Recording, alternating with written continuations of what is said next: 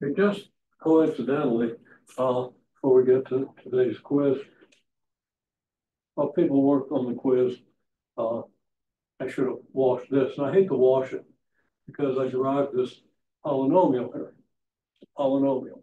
Just imagine this thing here, this Greek psi, xi, is an x. Okay, it's not an x because x comes into the coordinate system down here. And it has nothing to do with the coordinate system. It's actually what we call the sine of this angle. It's a trigonometric function. But it reduces down to this thing and all these other things. This A is just the radius of this circle. And you come in. And uh, uh, the four is, of course, a four y cup and x cup are the coordinates of that cup you see over there. Yeah, this cup. Now we have ample evidence that this cup has mysterious properties, that it attracts coin. Okay, because one day I put a penny on that magnet right there and I spun this thing and the penny flew off and landed in the cup. Just spontaneous. I was explaining something to some students and I didn't even notice it. Hey, penny went into a cup. And we're doing analysis in physics. So what happened is this thing was spinning, there's a penny here, it flew off and went into a cup. We're analyzing this whole thing. Okay. And you know, if you if you've got a future in engineering, it's kind of worth thinking about what that picture means, but it's something that you got to get some more mathematics totally understand. Like you got to have a little bit of trigonometry. But we do have the coordinates of this point and the coordinates of this point, so we get the equation of this line. We get the slope of this line. And the slope of this line uh, is, is just tangent to this angle with the x-axis, okay? Uh, and that has something to do with like this psi, which you can think of as an x, but it's not this x. Now, the point of this is we're about to get into polynomials in here and in precalculus, okay?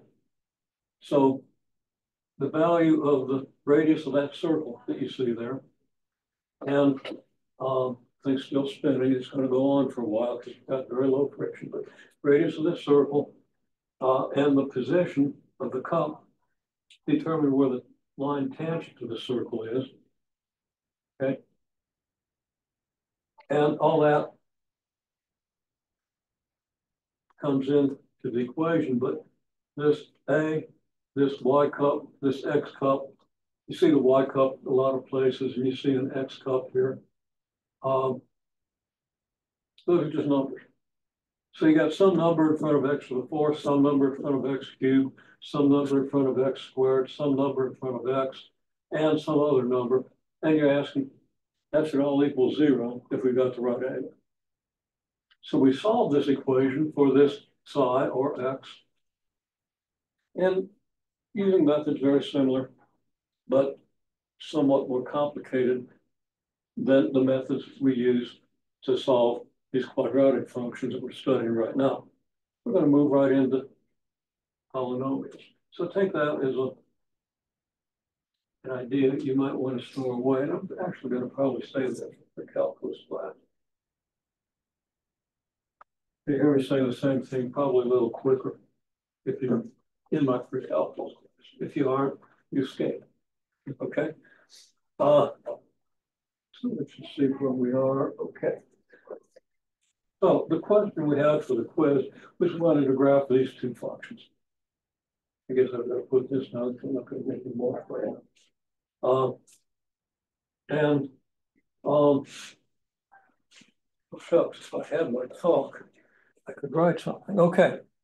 So, well, you should recognize from the homework. Okay,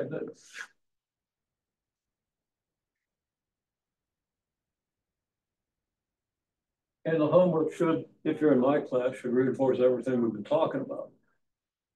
This is the toolkit. Quadratic oh, function. Shifting four units to the right.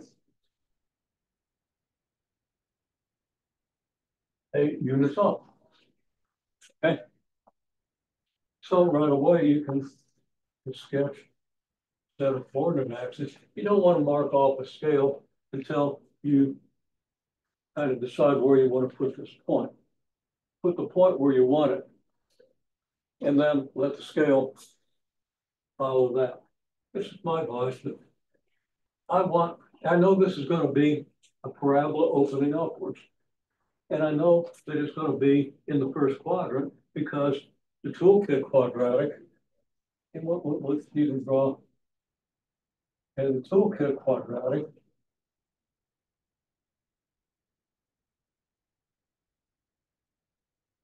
Here's the line x equals negative two, the line x equals two, and here's the line y equals four. It has a vertex here. And it's shaped kind of like this, right? So it goes through the points negative two, four, and two, four. This is, of course, y equals x squared. Toolkit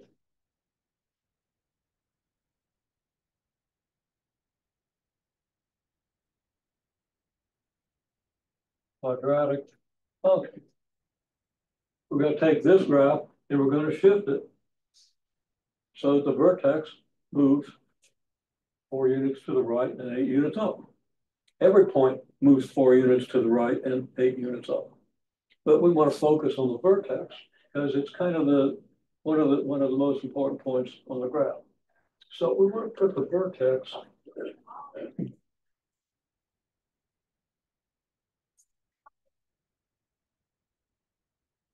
Well, okay. You know that another thing we're going to do, if you've done the homework and everybody here has, and did pretty well on it, to real well. You know that we're going to have a y-intercept when x equals zero, right? And if x equals zero, you're going to square negative four to get 16 and add that to eight, you're going to get 24, right? So we want the point or the line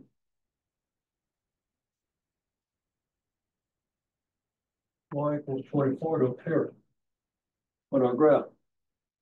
Okay, because we know we're going to go through this point. Extend that x-axis a little. So we know this is a point on the graph. Now we've got to locate the point for 8. So if y is 24 here, then y is 8, well, about one third of that height. So there's y equals 8. That makes sense? So now we know that the vertex is going to go on this line. It's also going, going to go on the line where x equals 4 because the y-axis, which is x equals 0, shifts over to x equals 4.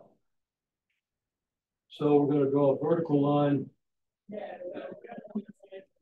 Okay, vertex is going to go somewhere on here. We want the thing to have a shape kind of like this. I'll put x equals four here. And then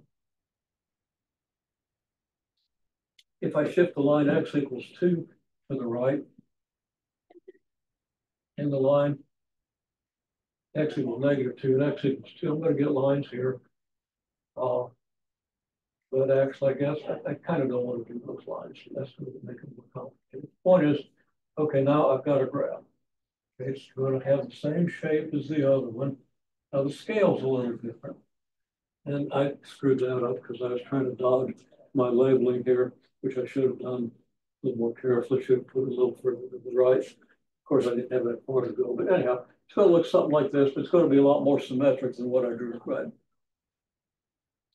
So you're not going to be able to use this to do a good estimate of where we cross the line y equals 24. Here, yeah, because but we know what that point is. Okay, so we're not going to be able to use this to make good estimates. We have to make it much more symmetric and whatever you need to do that. Also, this isn't to the same scale. This is, I mean, this is four units here, but this is 16 units here from 8 to 24, right? So we don't have the same scale, but we still see that this vertex shifts over eight, over four units and up eight units. It'd be like here on the scale of this graph. The, the thing would be like this. Um, okay, so really now what I expected to see if you've done the homework and you might have done it without even thinking about the toolkit function. Okay, in the construction of the toolkit shape. Um, you still know what this looks like and you know it's going to shift over here. So you want to be aware of that. All right. But what you probably did was say, okay, there's vertex form. Vertex is 4, 8, so there it is. Now, if you had marked off a scale from negative 10 to 10, which a lot of people do, and then negative 10 to 10 up here, you would never have gotten this point, would you? Okay. So my recommendation is don't do that. Do what I've done here or something similar. So you leave yourself room to get the picture.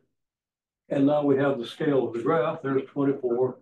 You know, that's 24 on the y-axis. That's 4 on the x-axis. Um, and, and we have a perfectly good graph if we just keep the scale in mind. Okay. Toolkit. The toolkit. Okay, there we go. Now, this one, well, we're going to shift three units to the left and five units down, right? So,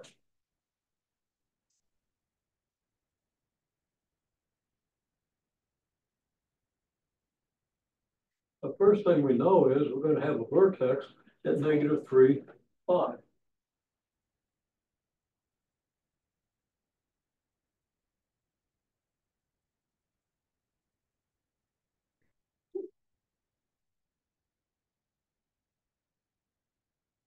Deep. The toolkit. Quadratic function.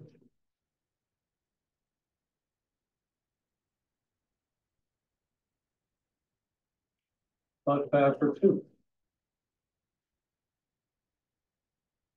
And we stretch it vertically. Okay. So you got to be aware that you have to vertically stretch this thing by factor two.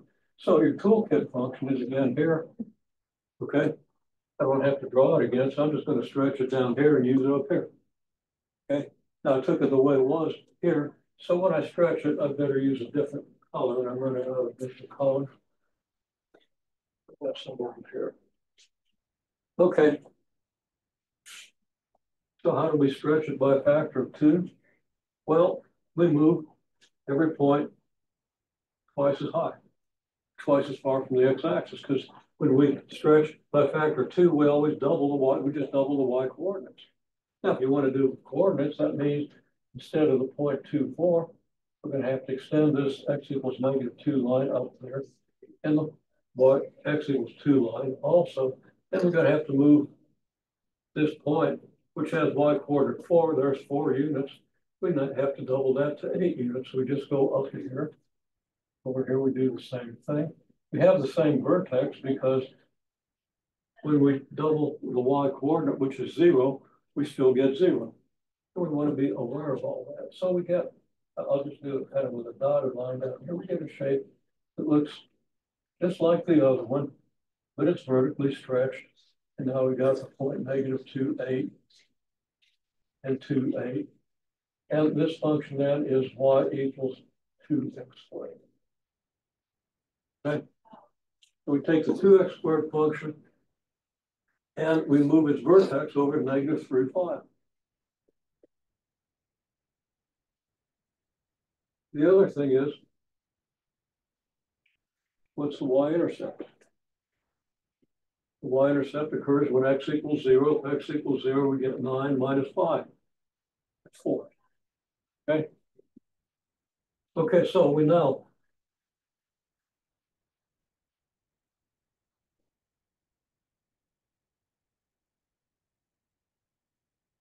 y-intercept is 0 point. Y-intercept occurs on the y-axis of the x-coordinate is 0. So replace x by 0 and calculate what we get, and I screwed it up, it's 13. As I look at the 2. Okay? Yeah, we're gonna square three to get nine, then we have to multiply by two before we subtract five, so it's a zero thirteen. All right. So we can do a graph. Most of the graph is gonna be in the second and third quadrants. Most of what we're gonna plot, most of the interesting stuff happens uh, to the left of the y-axis or at the y-axis. And the y-intercept is zero, 13, so we're gonna have to have thirteen on the y-axis. And we're gonna have to have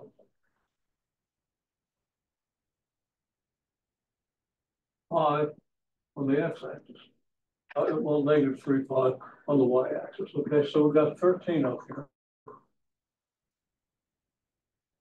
And then we're gonna need y equals five. Which might be about here.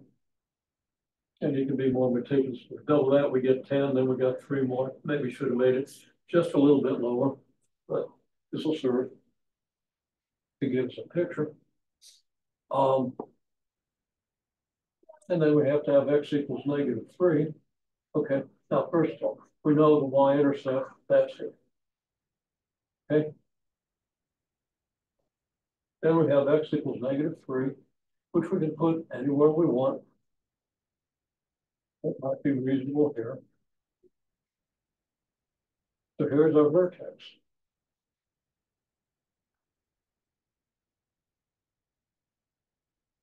Now all we have to do is draw a picture this shape. And it's gonna have to go from here through here, and have to go here, so I think it's gonna look something like this. And I never can get it symmetric because I'm always looking at the board with an angle. Trying to stay out of the way. I need to figure out a way to compensate for that. Maybe I can get kind of an AI brain transplant. Causes me to compensate for this. Uh, gonna write the functions to compensate. That probably wouldn't be all that helpful though. Okay. Be interesting. Okay, so there we have it. Does that make sense? So this is y equals two times x plus three quantity squared minus five. Okay. Any questions? Comments, I do anything wrong? You might have, I know that this disagrees with one of the graphs that I saw. Um, and I think maybe what I'm seeing on some of the papers, let me take a quick look. Uh, is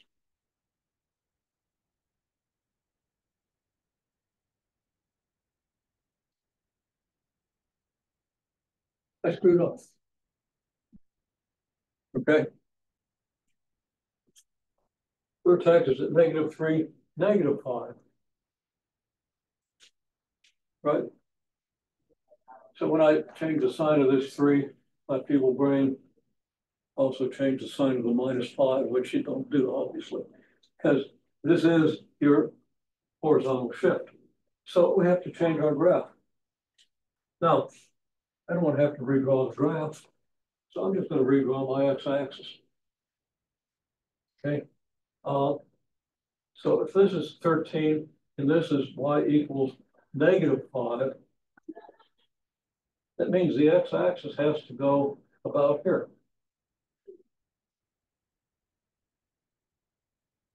There's my x-axis. And uh, I need to uh, washed any boards yet. Have to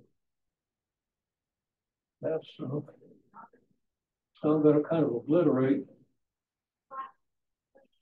this part of the x-axis. On the board there and there.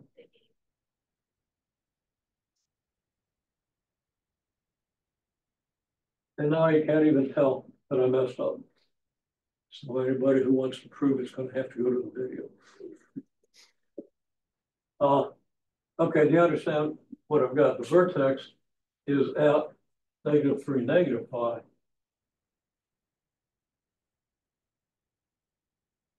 There it is. Now we can estimate the zeros. Okay. And then we can solve this equation for the zeros. It's easy to solve. So let me demonstrate that because you're gonna need it. Not for the homework you have due in this course tomorrow or whatever it's due. Um, and probably tomorrow. Uh, zeros are here and here. So what are the coordinates of the zeros? Well, if this is negative three, that looks like it's probably about negative one.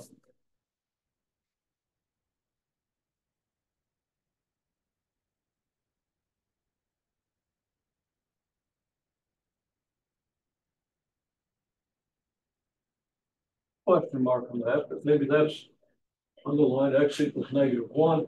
And that's two units to the right of the axis of symmetry. So that we go two units to the left of negative three, we get x equals negative five. Question mark on that too. Make sense? Just these are estimates. Just based on this hand-drawn graph, I have no idea if they're going to work, but we seem to have integers here, so I'm fairly optimistic that maybe it'll work. I'm not going to bet anything on it. Okay, well, let's just plug it in. If we plug in negative one here, what do we get? Negative one plus three is two. Square two, you get four. Two and two times four is eight, and eight minus five isn't zero. Okay. So now and this is going to work exactly the same because of the symmetry. We get negative two here, negative five plus three is negative two. We square that, we get four, we double it, we get eight. We subtract five, we get three instead of zero. So we could have looked out and gotten a solution from the graph. The graph shows us what's going on. Now, what we can do is we can pretty easily solve this. Okay,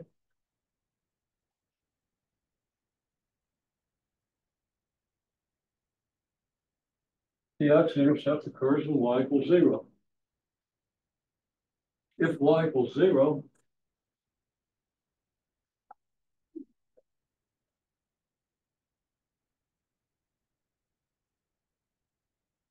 we get zero equals two times the quantity x plus three squared minus five.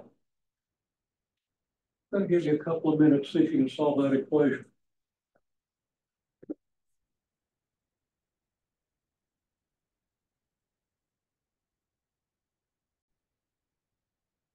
Okay, that was pretty good, pretty good.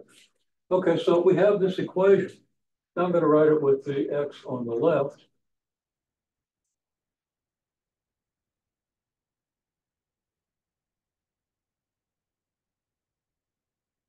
Okay. Now, what's the obvious thing you would do? You try to isolate x. You could divide both sides by two. You get closer, get you closer to the x, then you'd have the fraction add to both sides. So as usual, recommend you do additions and subtractions first unless you've got a good reason to do otherwise.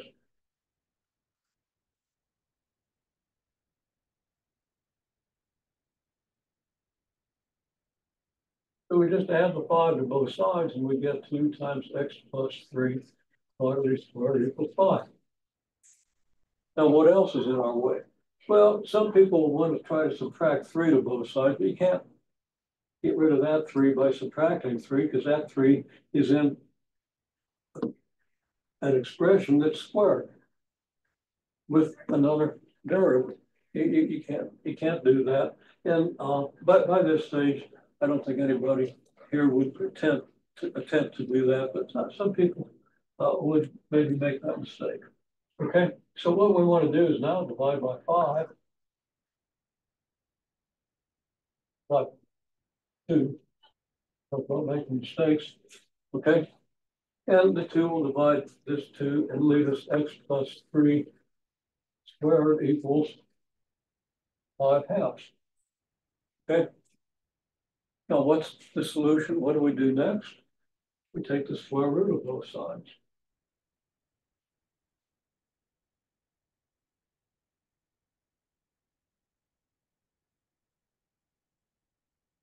Okay. if x plus three squared equals five halves, then x plus three could be five square root of five halves and the negative square root of five halves. Okay? Now, you all have good algebra skills, obviously, okay? So you don't necessarily need to write out all the steps I do here, but if you're in doubt, write them out, okay? Um, and I think most people did. Okay, so we have x. Now, are we done? We, we solve for x? No, not quite. We'd have to get rid of that three, but now we can.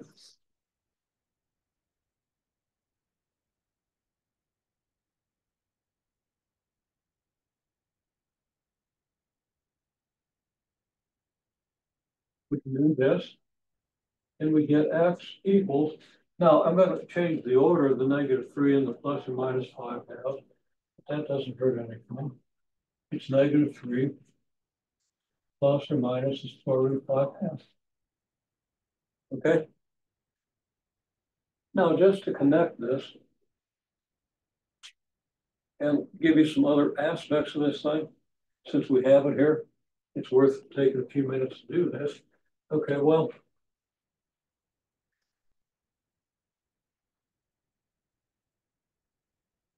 we can expand this and use the quadratic formula.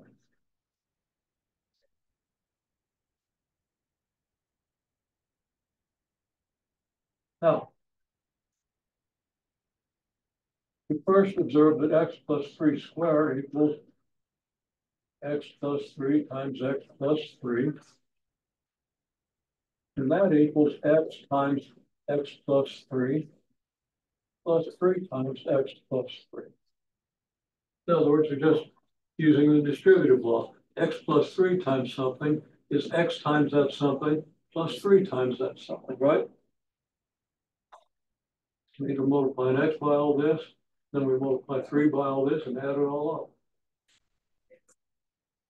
And if you're uncomfortable with that, please somehow let me know. We can spend a little more time uh, talking about the distributive law. Honestly, it's first.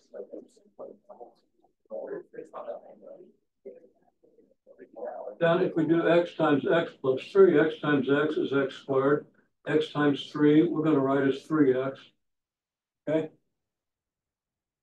And then 3 times x is, gives another 3x. Match up with this one. And 3 times 3 is 9. And we get x squared plus 6x plus 9.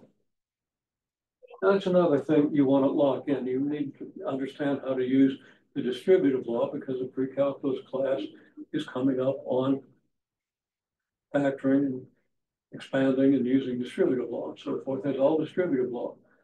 Uh, the, the, the, stuff you're going to have for homework is basically all distributive law. And we're going to go over that, but this will help get us warmed up. Okay. So 2 times x plus 3 squared minus 5 equals 0.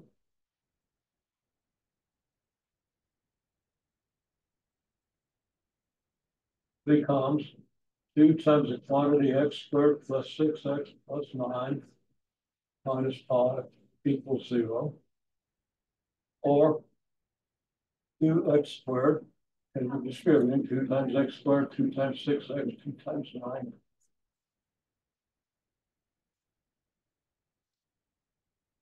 Then we get two x squared plus twelve x plus eighteen minus five equals zero.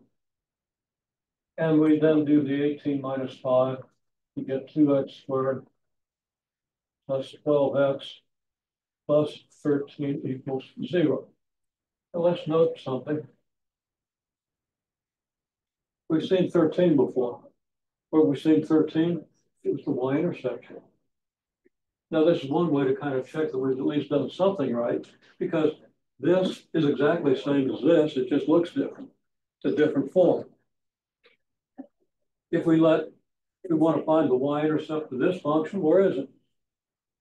Well, the y-intercept occurs when x equals zero. If you let x equal zero, this is zero, and this is zero, you get 13.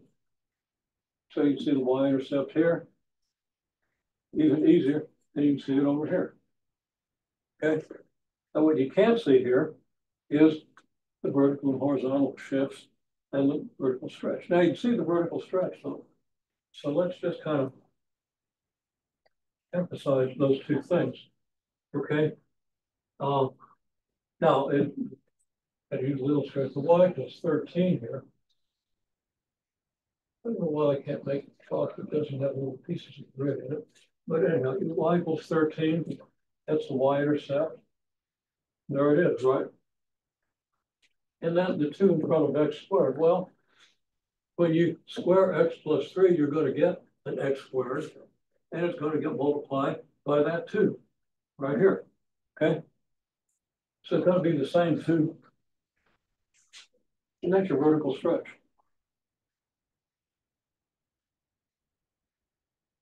Here's the y-intercept.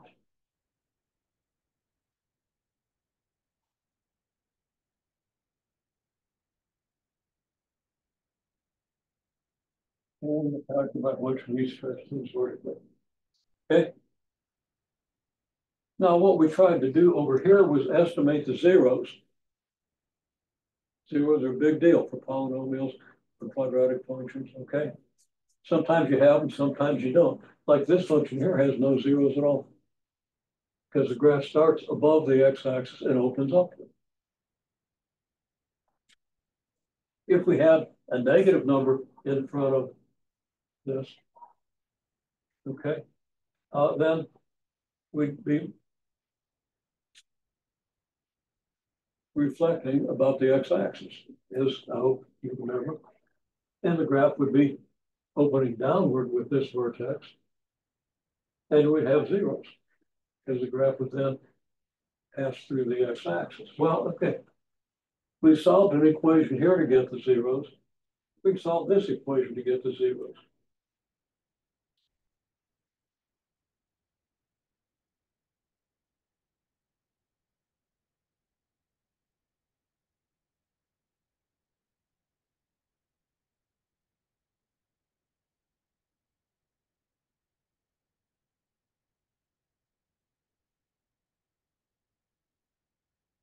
Okay. We have two zeros, one for the plus, one for the minus. It's negative b plus or minus this discriminant at the square root of this discriminant over 2a. Okay, now negative b over 2a, if you remember what we've done in my pre-calculus class, I don't know that we've done it here, is uh, negative b over 2a is going to give you the axis of symmetry. And where's the axis of symmetry? It's right here. Okay. Why is it right here? It's because zeros occur this distance to the right and this distance to the left of the axis of symmetry. So here's your negative 3 plus the square root of 5 halves. And here's your negative 3 minus the square root of 5 halves. Well, the quadratic formula should show us the same thing we plug the numbers into the quadratic formula, we get negative 12 plus or minus the square root of 12 squared minus 4 times 2 times 13. I'm writing that really small because I think everybody knows how to plug into the quadratic formula. Okay, it's real easy do the homework. I think you've already seen it, but I'm not sure. Okay, sure, no, man. I didn't know where I was going today until I saw your quizzes. Okay, and I pretty much never do. I have all kinds of ideas. And without internet access off campus, I didn't have everything um, who I'd like to do. Okay, anyhow, that's negative 12 plus or minus the square root of what? That's 144. That's 8 times 13, which is 104. So that's the square root of 40.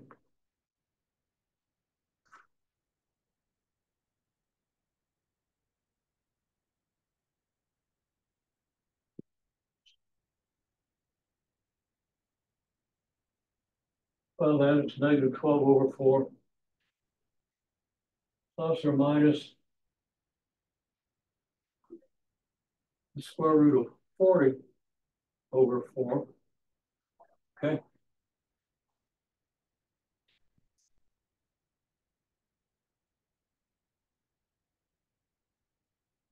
Now, there's more I could say here, but I'm out of board space and I really don't want to digress that far. I'll just comment. There's your negative three. And the square root of forty divided by four is the square root of five halves. Because the square root of forty is the square root of four times ten. Square root of four is two, so it's two times the square root of ten. And then they have one half that and um,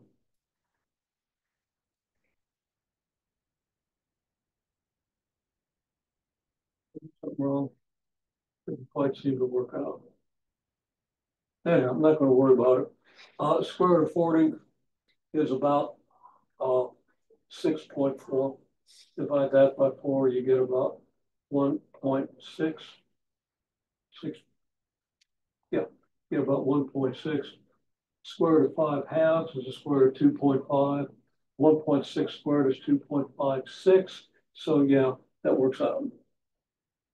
If somebody's doing medley, that, that would coincide the square root, but didn't seem to work.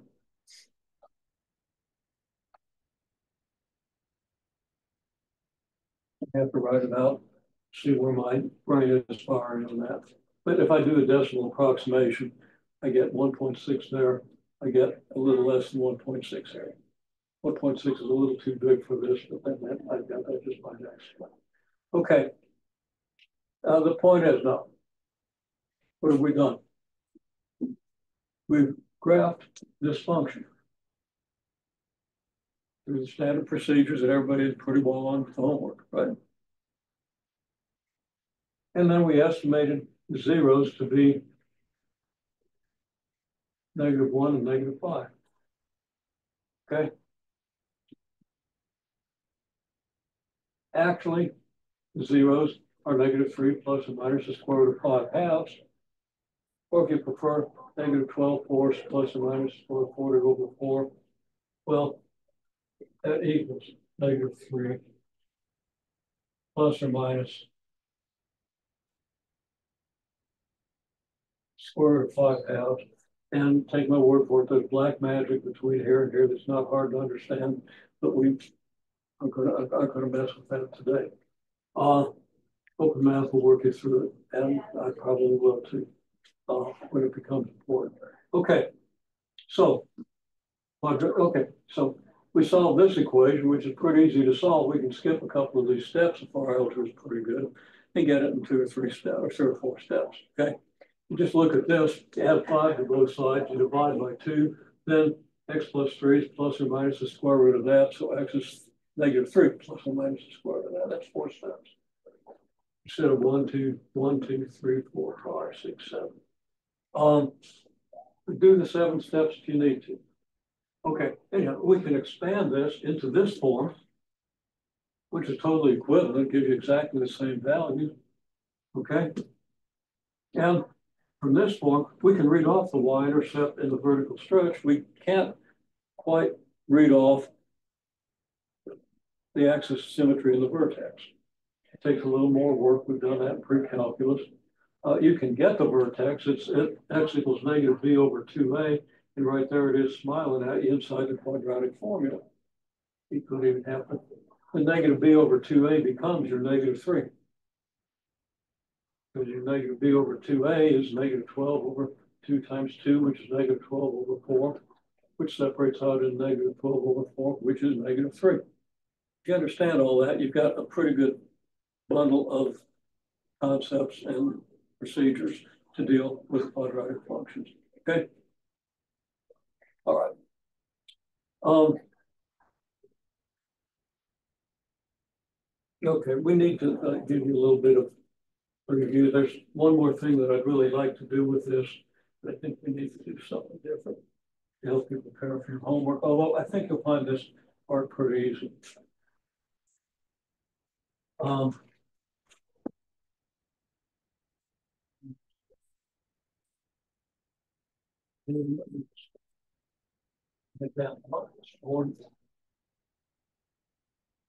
Okay.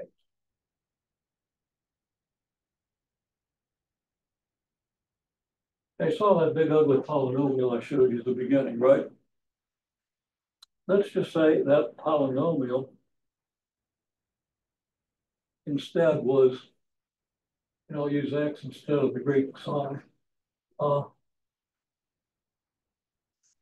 ax cubed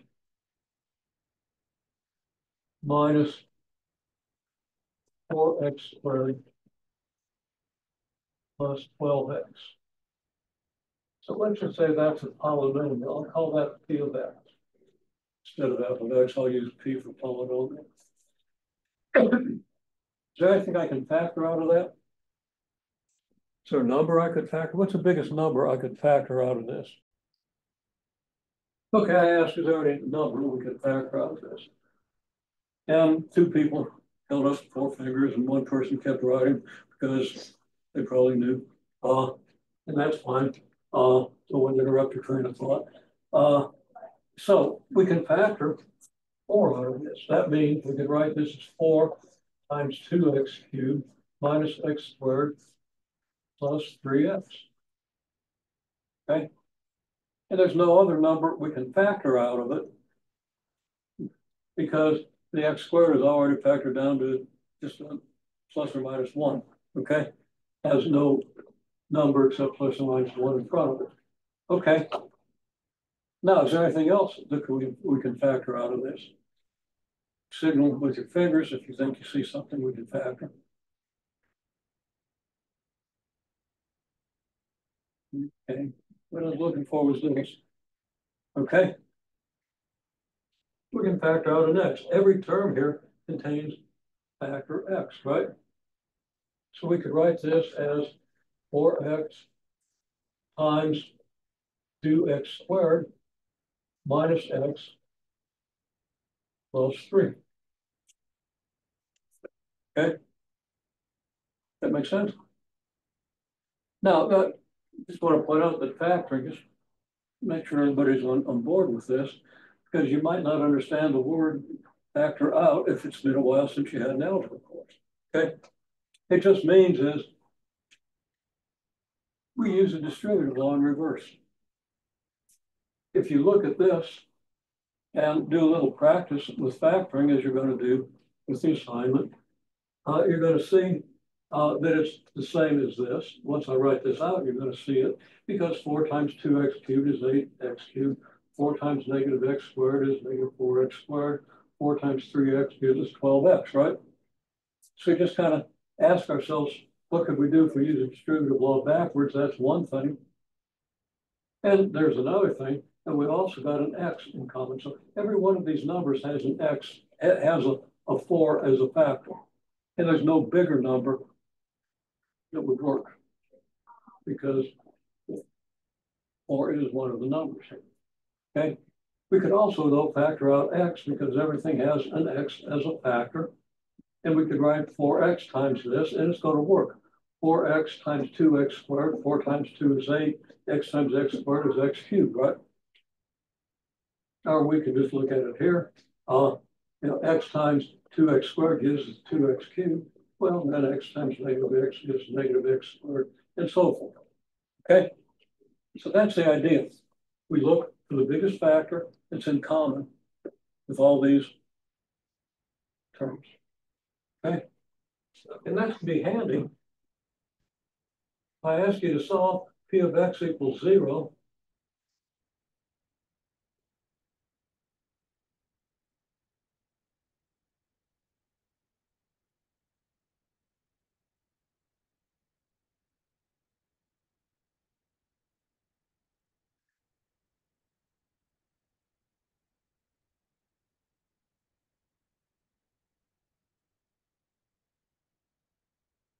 Well, that looks sort of scary because you don't know what to do with an x cubed. Okay. You got a quadratic formula if you got an x squared. Okay.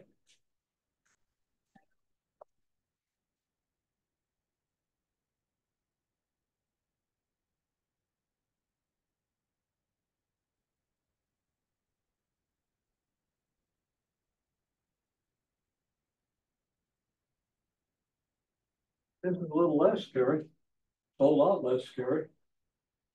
Okay. because. Well, let me tell you why it's less scary. Okay, I'm gonna just put a couple of, of multiplications up here and I want you to do them, okay? Okay, let's try seven thousand three hundred and forty-two multiplied by three thousand five hundred ninety-six, multiplied by zero, multiplied by twelve. What do you get? Show me some fingers. You got a zero in there. You can multiply, multiply any of the, multiply any of the, these things by zero, and you're gonna get zero. Zero times twelve is zero. Then you got three thousand five hundred ninety-six times zero, which is zero. Then you got this times zero, which is zero, right? If you got one zero in there, you got zero. Okay?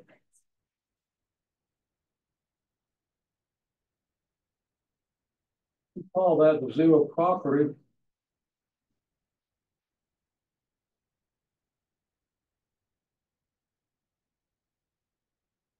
multiplication. Okay, if one thing in a product is zero, then when you pair anything up with zero, you're gonna get zero.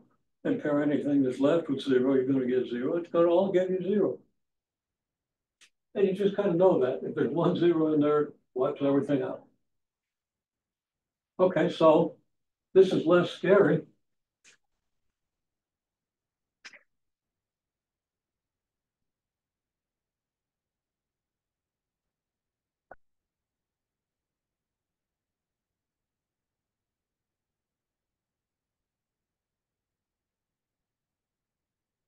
I'm not gonna write that. We're not gonna write out all the words.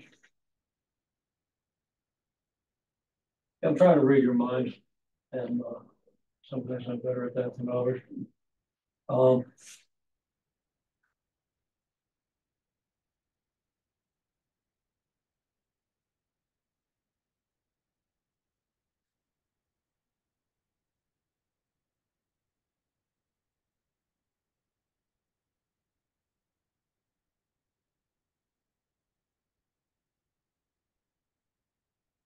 This equation is equivalent to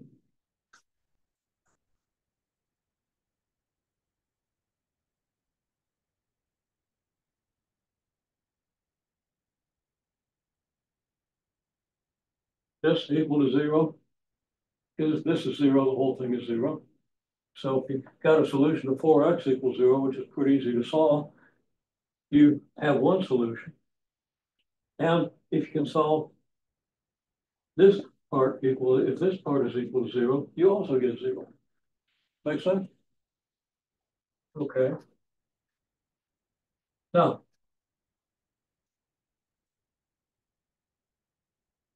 Well, this gives you x equals zero. I mean, divide both sides by four, and you're gonna get x equals zero over four, which is zero. It's obvious that this is gonna be zero, if and only if x is zero.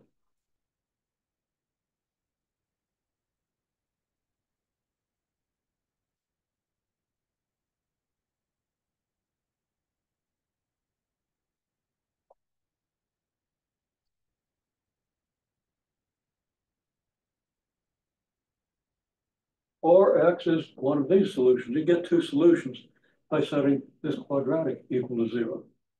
Okay? Well, this turns out to be one fourth plus or minus the square root of what? That's one. Four times two times three is uh, 24. So it's one minus twenty-four, which is negative twenty-three. Okay. Has a square root of negative twenty-three a number you can put on the x-axis?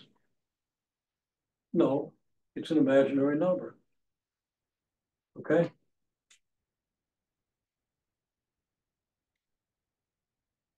Well, bring all this up here. Thus,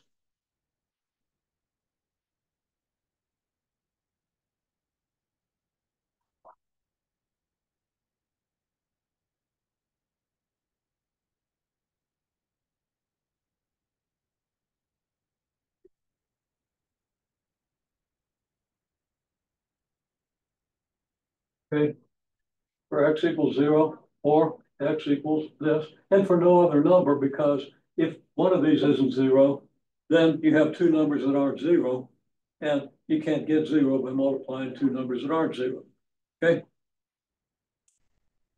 If any of the numbers here was not zero, if that zero changed to anything else, we would have a result that you don't want to have to calculate, okay? Now,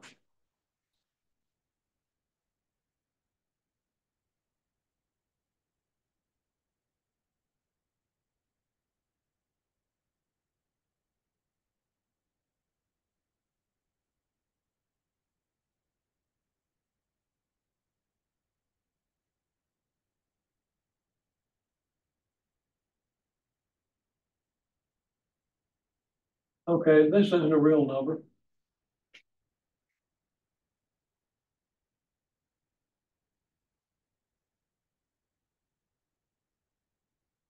Gotta change my words here.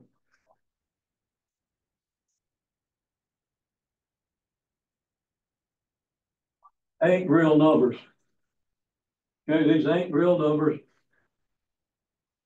On account of negative square root of negative twenty-three ain't a real number. And even though one fourth is, when you add an imaginary number to it, it ain't real no more. Okay? So that's the only, uh, th- th- these aren't real numbers. The only zero is x equals zero. So the graph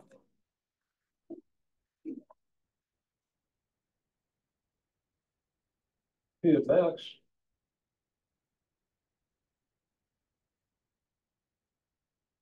passes through the x-axis.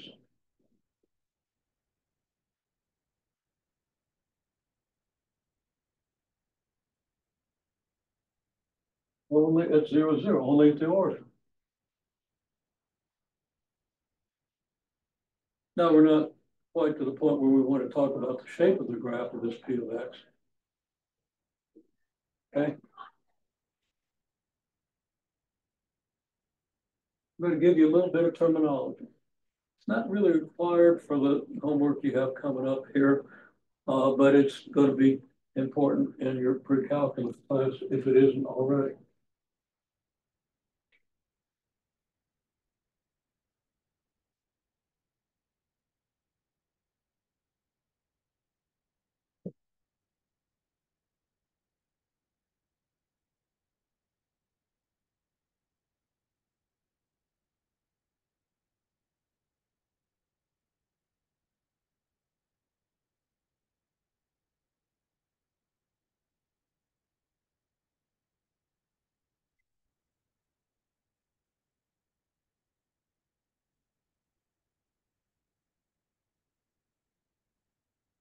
I'll say it's the completely factored form of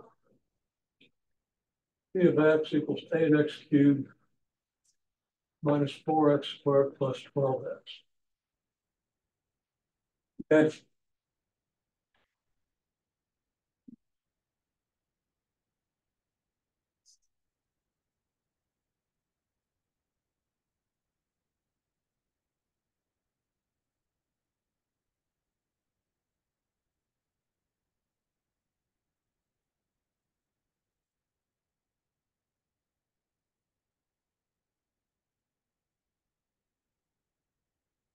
I'll say this is the completely factored form because this term here can't be factored any further.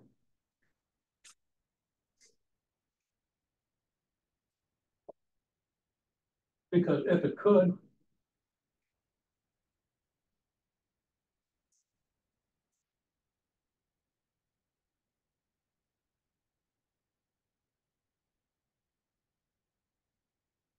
give us real zeros.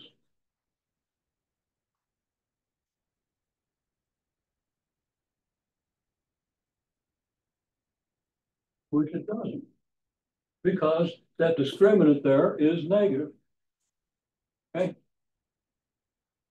So we have then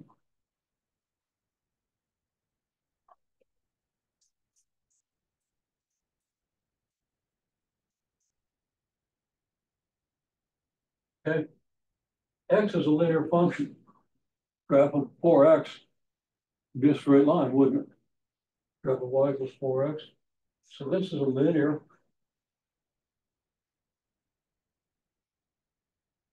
Function. And actually, we just consider four to be the coefficients of y equals x is our linear function here. And it's zero only at zero, because y equals x is just a forty-five degree line through the origin, right? And this is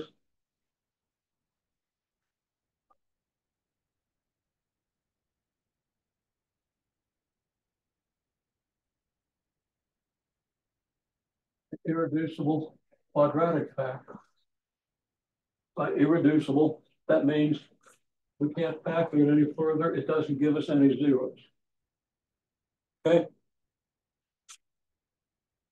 Since I'm here, I'll take one more minute to state.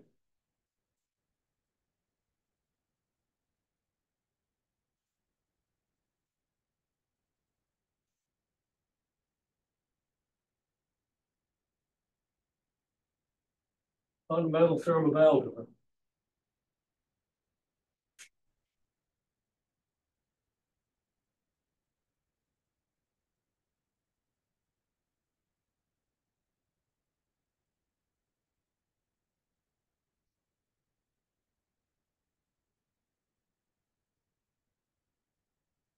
Every polynomial factors into linear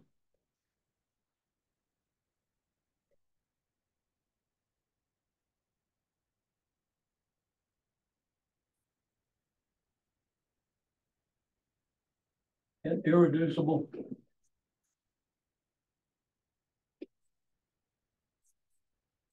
Quadratic. Factors.